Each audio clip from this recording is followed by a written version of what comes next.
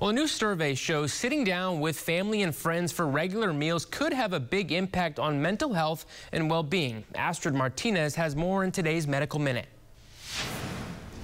Chronic stress can increase a person's lifetime risk of heart disease and stroke. Now, a new survey from the American Heart Association shows sharing regular meals with others could be one way to help manage stress.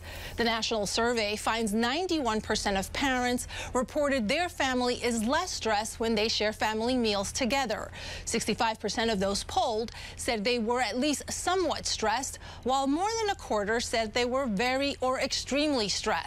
Researchers highlight that sharing meals with family, friends, or neighbors can also boost self-esteem and improve social connection, especially for children.